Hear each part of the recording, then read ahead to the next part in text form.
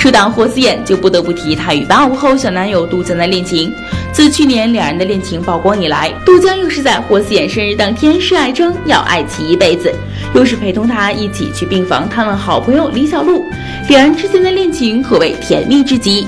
而近日有媒体爆料，霍思燕微博又是晒美食，又是大聊爱情与幸福，原因是因为她已经未婚先孕，而且胎儿已经有四个月了。霍思燕与杜江自恋爱以来，恋情发展迅速。虽然这怀孕的消息还没有得到当事人的亲自证实，但想必步入婚姻的殿堂，将来有一个幸福快乐的宝宝，一定是两人共同的心愿吧。